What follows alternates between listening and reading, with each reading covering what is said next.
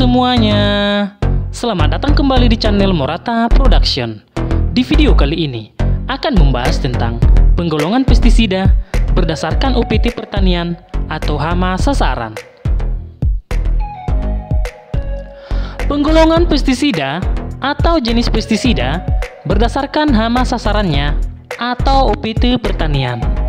Pengertian pestisida dalam sejarah peradaban manusia, Pestisida telah cukup lama digunakan, terutama dalam bidang kesehatan dan bidang pertanian. Pestisida memiliki peranan besar dalam meningkatkan produksi pertanian. Pestisida berasal dari kata pes atau hama yang diberi akhiran side atau pembasmi sehingga dapat diartikan sebagai pembasmi hama menurut Wikipedia 2019. Pestisida secara umum diartikan sebagai bahan kimia beracun yang digunakan untuk mengendalikan jasad pengganggu yang merugikan kepentingan manusia. Pestisida merupakan bahan kimia yang digunakan untuk membunuh hama, baik insekta, jamur, maupun gulma. Pestisida telah secara luas digunakan untuk tujuan memberantas hama dan penyakit tanaman dalam bidang pertanian. Pestisida pertanian atau pestisida pada umumnya merupakan bahan kimia atau campuran bahan kimia serta bahan-bahan lain seperti ekstra tumbuhan, mikroorganisme, dan lain sebagainya. Senyawa pestisida bersifat bioaktif, artinya pestisida dengan satu atau beberapa cara dapat mempengaruhi kehidupan, seperti menghentikan pertumbuhan, membunuh hama atau penyakit, menekan hama atau penyakit, membunuh atau menekan gulma, mengusir hama, mempengaruhi atau mengatur pertumbuhan tanaman, mengeringkan atau merontokkan daun, dan sebagainya. Menurut Panut Jojo Sumarto tahun 2000. Di bidang kesehatan, pestisida merupakan sarana yang penting, terutama digunakan dalam melindungi manusia dari gangguan secara langsung oleh jasa tertentu maupun tidak langsung oleh berbagai vektor penyakit menular. Berbagai serangga vektor yang menularkan penyakit berbahaya bagi manusia telah berhasil dikendalikan dengan bantuan pestisida.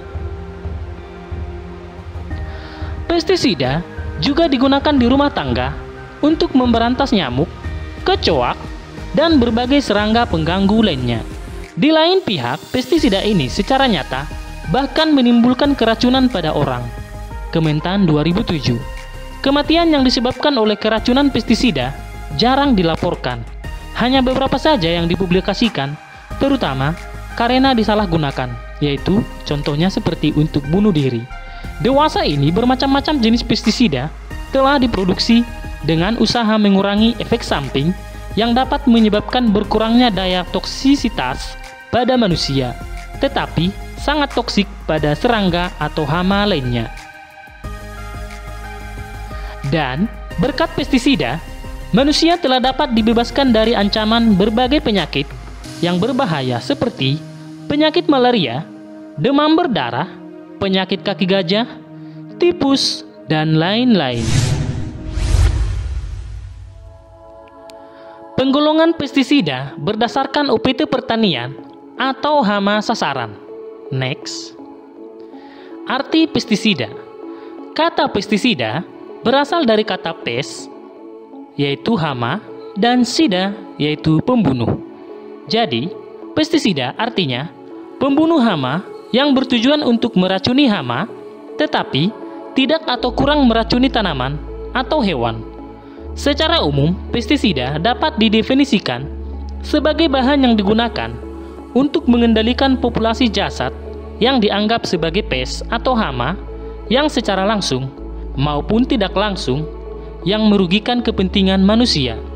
Pestisida juga diartikan sebagai substansi kimia dan bahan lain yang mengatur dan atau menstimulir pertumbuhan tanaman atau bagian-bagian tanaman, yaitu menurut Jojo Sumarto tahun 2000. Sesuai konsep pengendalian hama terpadu, disingkat PHT, penggunaan pestisida ditujukan bukan untuk memberantas atau membunuh hama, namun, lebih dititik beratkan untuk mengendalikan hama sedemikian rupa sehingga berada di bawah batas ambang ekonomi atau ambang batas kendali menurut Untung tahun 93. Nah, di samping ada contoh pestisida ya kemasannya dan juga petani yang aplikasi di sawah. Pestisida merupakan zat kimia yang telah melalui beberapa proses dan berguna untuk mengusir hama. Kata pestisida yang disadur dari kata bahasa Inggris yaitu pesticide yang berarti pes itu hama dan sida itu aksi pemberantasan atau tindakan membunuh. Awal mula pestisida digunakan itu sekitar ribuan tahun yang lalu. Kala itu dimulai dengan cara menyebarkan sulfur di area pertanian. Penggunaan pestisida sebetulnya tidak melulu untuk kepentingan pertanian dan perkebunan. Banyak fungsi pestisida yang digunakan di luar untuk membantu pemberantasan hama tanaman. Dan setiap jenis pestisida juga memiliki fungsi masing-masing dalam mengusir hama. Terlepas dari pro dan kontra setiap ahli dan praktisi, para petani sampai sekarang masih sangat bergantung pada pestisida demi memperlancar dan memaksimalkan kesehatan tumbuh kembang tanamannya. Menggunakan pestisida dianggap lebih efisien dan lebih manjur ketimbang dengan cara lawas atau cara tradisional.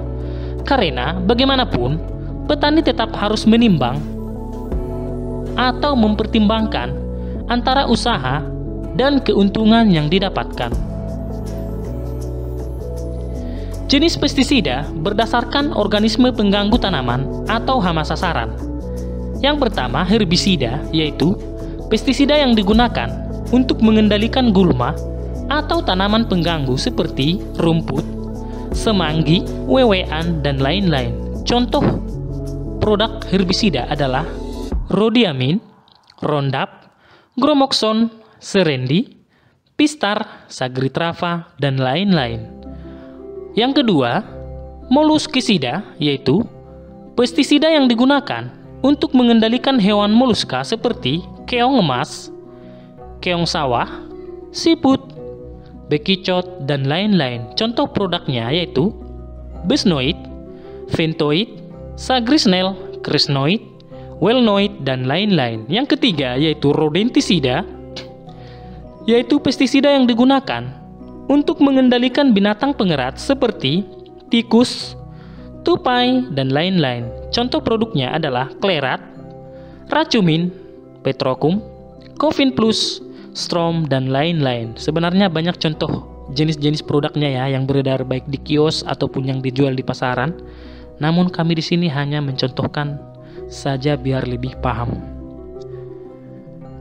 Yang keempat yaitu fungisida, yaitu pestisida yang digunakan untuk mengendalikan penyakit karena faktor jamur seperti hawar atau busuk pelepah, belas atau busuk leher, dan atau juga bercak coklat.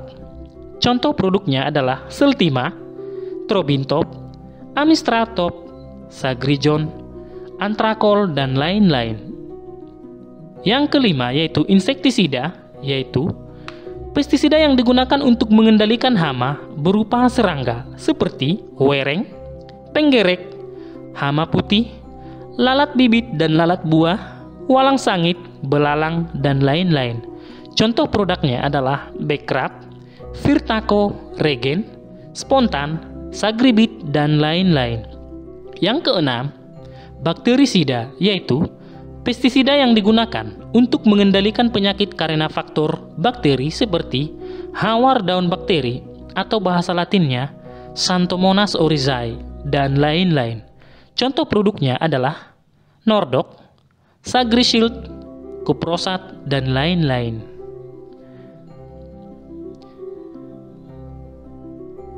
Yang ketujuh yaitu akarisida adalah pestisida yang digunakan untuk mengendalikan akarina seperti tungau, kutu, dan lain-lain. Contoh produknya adalah keltane, agridan, mitisun, dan lain-lain.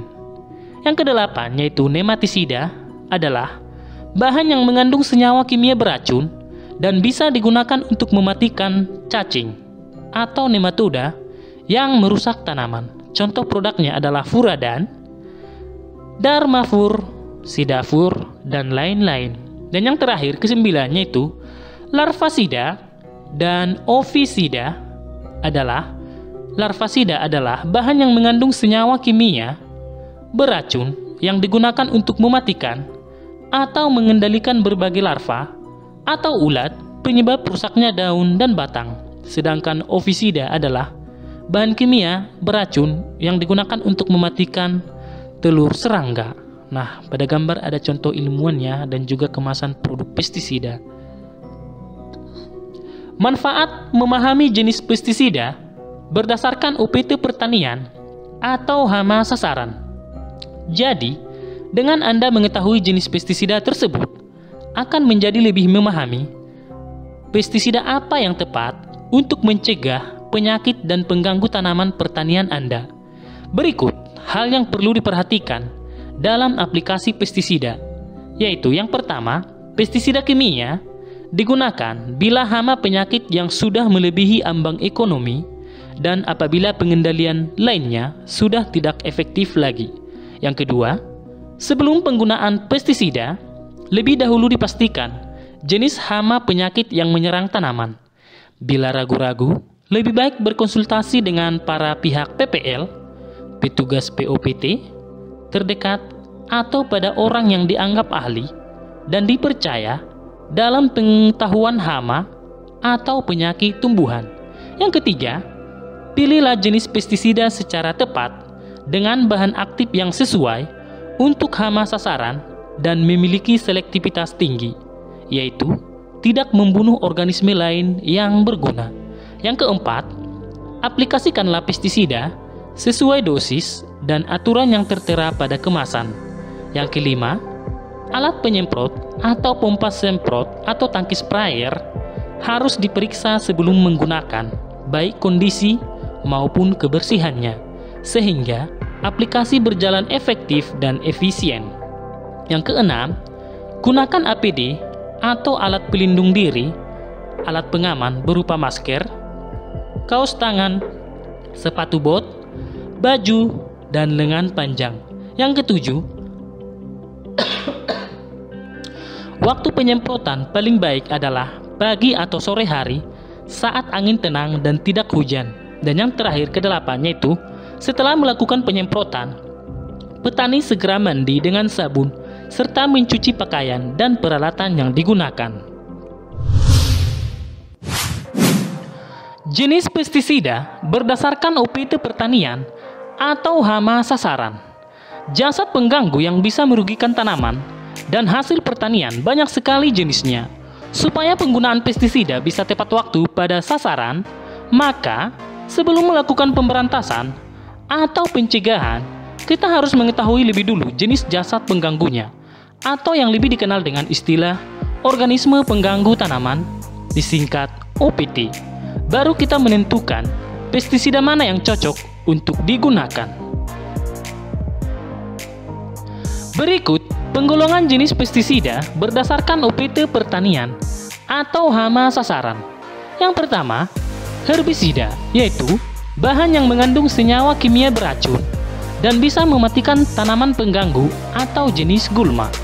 Yang kedua, moluskisida, yaitu bahan yang mengandung senyawa kimia beracun dan bisa mematikan jenis moluska seperti keong mas, keong sawah, siput, bekicot, dan lain-lain. Yang ketiga, rodentisida yaitu bahan yang mengandung senyawa kimia beracun dan bisa digunakan untuk mematikan jenis binatang pengerat perusak tanaman seperti tikus. Yang keempat, fungisida yaitu bahan yang mengandung senyawa kimia beracun dan bisa digunakan untuk memberantas dan mencegah fungi atau cendawan penyakit tanaman. Yang kelima, insektisida yaitu bahan yang mengandung senyawa kimia beracun dan bisa mematikan jenis serangga. Yang keenam, bakterisida yaitu bahan yang mengandung senyawa kimia beracun dan bisa digunakan untuk mematikan bakteri atau virus yang menimbulkan penyakit pada tanaman. Yang ketujuh, akarisida yaitu bahan yang mengandung senyawa kimia beracun dan bisa digunakan untuk mematikan jenis-jenis tungau. Yang kedelapan, nematisida yaitu bahan yang mengandung senyawa kimia beracun dan bisa digunakan untuk mematikan cacing atau nematoda yang merusak tanaman. Dan yang terakhir kesembilan yaitu larvasida yaitu bahan yang mengandung senyawa kimia beracun yang digunakan untuk mematikan atau mengendalikan berbagai larva atau ulat rusaknya daun dan batang. Dan masih banyak jenis pestisida lain yang digunakan untuk membasmi dan membunuh hama. Di antara jenis atau pengelompokan pestisida tersebut di atas, jenis insektisida banyak digunakan di negara berkembang karena harganya lebih murah. Sedangkan herbisida banyak digunakan di negara yang sudah maju. Data formulasi dan bahan aktif yang ada di Indonesia dari tahun ke tahun terus meningkat. Sampai tahun 2005 saja, terdapat 1082 formulasi pestisida yang sudah beredar di Indonesia, di mana insektisida menduduki ranking tertinggi menurut Komisi Pestisida tahun 2005. Dewasa ini pestisida sudah merupakan dari sistem usaha tani dan mentalitas sebagian besar petani di Indonesia. Menurut FAO atau Food Agriculture and Organization tahun 98, penggunaan herbisida di Indonesia pada tahun 1996 sebesar 26.570 ton, meningkat 395 persen dibandingkan tahun 1991 yaitu sebesar 6.739 ton. Ilustrasi demikian menggambarkan penggunaan pestisida semakin intensif dan cenderung tidak terkontrol. Akibatnya, agroekologi pertanian dan kesehatan manusia sebagai konsumen menjadi terabaikan. Aplikasi penggunaan pestisida. Pestisida merupakan golongan bahan kimia yang umum digunakan untuk membasmi hama dan gulma atau tanaman pengganggu. Hama seperti jamur, serangga, siput, dan hewan pengerat adalah organisme target pestisida. Pestisida digunakan di berbagai bidang atau kegiatan, mulai dari rumah tangga, kesehatan, pertanian, dan lain-lain.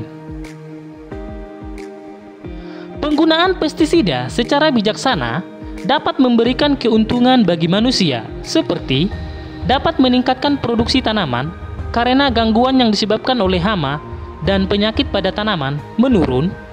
Pasokan makanan akan terjaga kesinambungannya karena hasil panen yang meningkat dan meningkatkan kesehatan, kualitas, dan harapan hidup manusia dikarenakan oleh tersedianya pasokan makanan yang bermutu dan lingkungan yang lebih baik.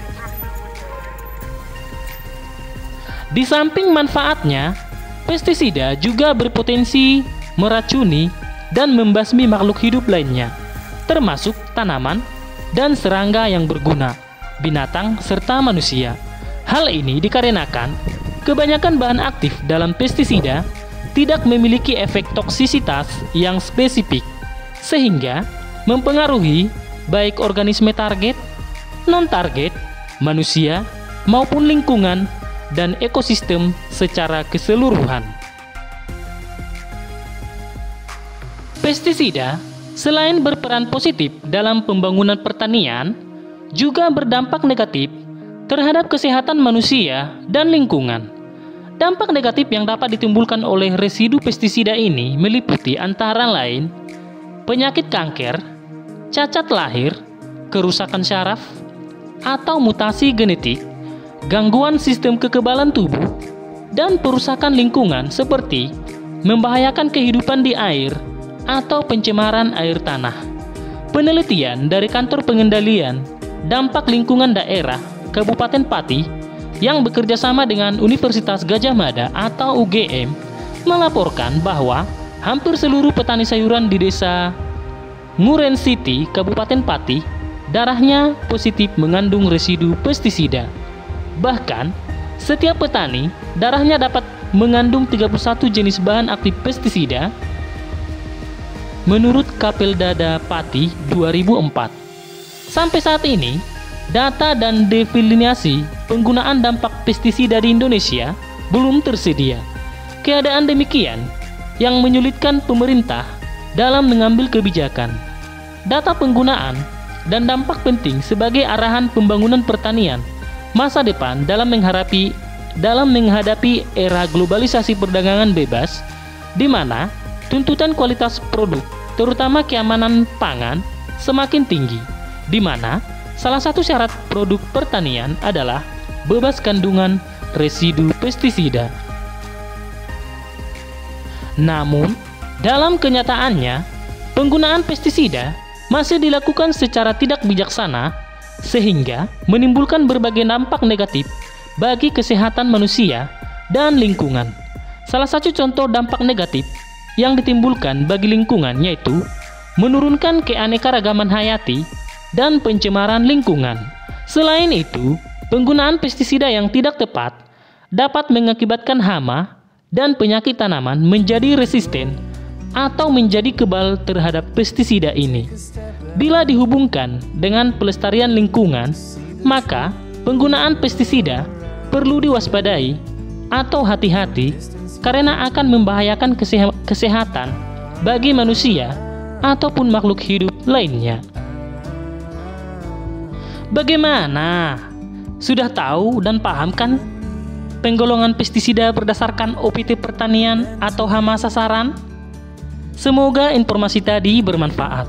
Share pendapat menarik kalian di kolom komentar ya. Mari bangun channel ini dengan cara klik tombol subscribe like, share, dan aktifkan tombol loncengnya ya, agar tidak ketinggalan untuk update video berikutnya. Sampai jumpa di video selanjutnya. Dan jangan lupa tonton video yang lainnya ya. Terima kasih sudah menyaksikan channel ini.